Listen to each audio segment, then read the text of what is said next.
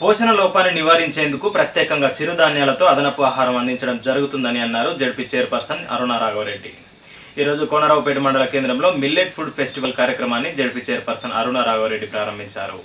రాజన్న సిరిసిల్ల జిల్లాను పోషణ లోపరహిత ఎనిమిక్ రహిత జిల్లాగా తీర్చిదిద్దాలన్న మంత్రి కేటీఆర్ మార్గదర్శనంలో జిల్లాలో ప్రత్యేకంగా ప్రతి రెండవ శనివారం మిల్లెట్ ఫుడ్ ఫెస్టివల్ను ప్రారంభించడం జరిగిందన్నారు.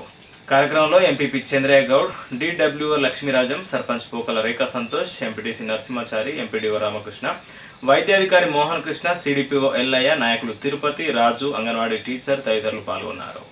ఎప్పుడో ఒకప్పుడు కూడా చిరుధాన్యాలు రాగి జావా మన టైడ జావా అనేటిది ఇది ఒకప్పుడు ఉండేది.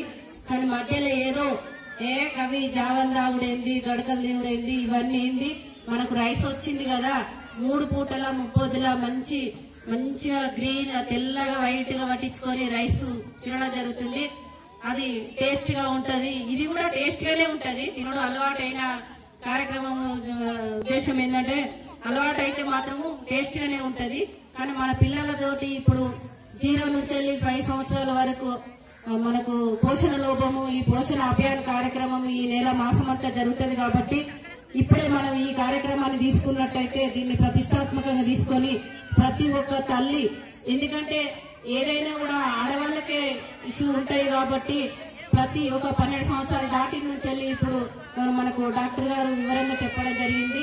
ఆ పన్నెండు సంవత్సరాల నుంచి వెళ్ళి పడితే మన వృద్ధాప్యం వచ్చేదాకా కూడా ఆడవాళ్ళు ప్రతి ఒక్క సమస్యను ఎదుర్కోవాల్సి వస్తుంది కాబట్టి ఇంట్లో మనమే కాబట్టి అన్ని పిల్లల గురించి చూసుకునేది అన్నిటి గురించి చూసుకునేది మనమే కాబట్టి మన హెల్త్ కూడా గట్టిగా చూసుకొని పిల్లలకు కూడా ఇట్లాంటి చిరుధాన్యాల ఫుడ్ పెట్టినట్టయితే కూడా రానున్న రోజుల్లో కూడా మన పిల్లలు కూడా ఆరోగ్య తెలంగాణగా ఉంటుంది కాబట్టి ఎందుకంటే మనము పుట్టిన శిశువు కాడ నుంచి వెళ్ళి స్టార్ట్ అయితే మనము ప్రతి ఒక్కటి ఇప్పటి నుంచి తీసుకున్నట్టయితే కూడా పిల్లలు కూడా చాలా ఎదిగి పటిష్టంగా ఎంకలు బలంగా ఉండి వాళ్ళు పటిష్టంగా తయారవుతారు కాబట్టి మనకు ఈ ఐసిడిఎస్ అంగన్వాడీ ద్వారా మనకు ఈ కార్యక్రమాలు ఆశా వర్కర్లు కూడా పాపం వాళ్ళు పొద్దున్న లేస్తే ప్రతి ఇంటికి కూడా వెళ్ళి ఏ ఇష్యూ ఉన్నా కూడా ఏ హెల్త్ ప్రాబ్లం ఉన్నా కూడా తీసుకుంటారు ఏదో గవర్నమెంట్ పంపిస్తుంది మా ఇంటికి వచ్చిర్రు పోయిర్రు అనకుండా వాళ్ళ సలహాలు సూచనలు వాళ్ళ వాళ్ళు వచ్చినప్పుడు గౌరవం ఇచ్చి వాళ్ళని మా కోసం వచ్చిర్రు కదా అని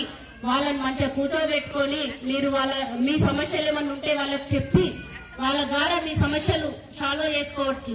ఎందుకంటే ఇక్కడ నుంచి వెళ్ళి పడితే మనం హైదరాబాద్ దాకా హాస్పిటల్ అని వెళ్తున్నాము. ఆ హాస్పిటల్ వెళ్ళకుండా కూడా ఇవాళ మన ప్రభుత్వం తీసుకున్న నిర్ణయం ప్రతి ఇంటికి వెళ్ళి ఈ సూచనలు సలహాలు ఇచ్చుకుంటూ ఈ అంగడి అంగన్వాడీ ద్వారా పుట్టిన శిశువుకు జీరో నుంచి వెళ్ళి ఐదు సంవత్సరాల వరకు మనం పోషణ లోపం లేకుండా చూసుకున్నట్టయితే ఆ పిల్లాడికి అనేది పెరుగుతుంది కాబట్టి ఆ ఆకలి లోపం లేకుండా కూడా ఈ లడ్డూలు కానీ ఈ జావలు కానీ ఈ పప్పులు కానీ వాళ్ళు చెప్పింది ప్రతి ఒక్కటి కూడా మన ఆరోగ్యం కోసం కాబట్టి వాళ్ళు చెప్పిన సలహాలు సూచనలు అన్ని పాటించుకుంటూ కూడా మనం అంగడవానికి కూడా సహకరించుకుంటూ కూడా పిల్లలను అంగడవానికి పంపించుకుంటూ కూడా ఆ పాలు ఈ లడ్డు ఇప్పుడు లడ్డు కూడా ఇప్పుడు ప్రతిష్టాత్మకంగా తీసుకున్నారు కాబట్టి ఆ రాగి లడ్డు కూడా మంచిగా ఎన్నో మాటలు చెప్పుకుంటూ కథలు చెప్పుకుంటూ వాళ్ళకు తినిపించి అలవాటు చేయాలి. ఎందుకంటే తినర్లే వీడు తినర్లే అని వదిలిపెడితే అది అట్లే పోతుంది కాబట్టి తినే అలవాటు తల్లిదండ్రులు కూడా మనం వాళ్ళతో పాటు మనం కూడా సహకరించినట్టయితే ఆ పిల్లాడు ప్రతిదీ కూడా అలవాటయ్యి మంచిగా పటిష్టంగా బలంగా ఉంటాడు కాబట్టి ఏ లోపం లేకుండా ఎదుగుదల ఉంటుంది కాబట్టి ఇప్పుడు గర్భవతి అయితే కూడా మనకు ప్రభుత్వం మన తెలంగాణ ప్రభుత్వం వచ్చినస్తుంది ఎప్పుడు ఎప్పుడు అంటే మనకు కళ్యాణ లక్ష్మి అంటే ఒక పెళ్ళి చేసి పాప ఎదిగి పెళ్ళికి వచ్చి పెళ్ళి చేసినట్టయితే కళ్యాణ లక్ష్మి చెక్కు నూట పదార్లు ఇచ్చుకుంటూ కూడా ఆ పిల్ల మళ్ళీ ప్రెగ్నెంట్ అయితే కూడా గవర్నమెంట్ హాస్పిటల్లో ఉచితంగా నెల నెల చెకప్లు చేసుకుంటూ కూడా మందులు ఇచ్చుకుంటూ కూడా మళ్ళా చూస్తూ ఉంటే కూడా మనకు మన గవర్నమెంట్ హాస్పిటల్లో నార్మల్ డెలివరీ ఒకప్పుడు మన ప్రైవేట్ హాస్పిటల్కి వెళ్తే కూడా ఆ డాక్టర్లు ఏమందరంటే ఏ బలహీనత ఉంది ఈమె బలంగా లేదు నార్మల్ కావడానికి చాలా ఇబ్బంది. ఎందుకంటే వాళ్ళకు సీజరింగ్ చేస్తే ఆపరేషన్ చేసినట్టయితే కూడా డబ్బులు చాలా వరకు వస్తాయి కాబట్టి ఎక్కువ మొత్తంలో వస్తాయి కాబట్టి మనకు అదే ఆపరేషన్ అలవాటైపోయింది. అలవాటు లేకుండా మన ప్రభుత్వం ప్రతిష్టాత్మకంగా తీసుకొని ఇప్పుడు నార్మల్ డెలివరీలు దాదాపుగా డెబ్బై ఎనభై శాతం వాళ్ళు డెలివరీలు నార్మల్ అయ్యే ప్రయత్నం చేస్తున్నారు. మనకు డాక్టర్లు కూడా చాలా మంది ఇప్పుడు మెడికల్ ఏముంటాయి? తీసుకోకపోతే ఆ తీసుకుంటే ఆ లాభాలు ఏముంటాయి? తీసుకోకపోతే నష్టాలు ఏముంటాయి?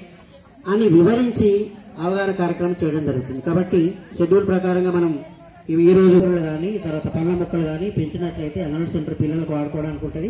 ముఖ్య కాన్సెప్ట్ ఏంటంటే అక్కడ ఆ అంగన్వాడీలో వచ్చే తల్లులకు ఆ కూరగాయలు కానీ ఆ పండ్ల మొక్కలకు సంబంధించిన అవగాహన కార్యక్రమం చేపట్టడానికి ఇది చేయబోతున్నాము. కాబట్టి ఇప్పుడు మన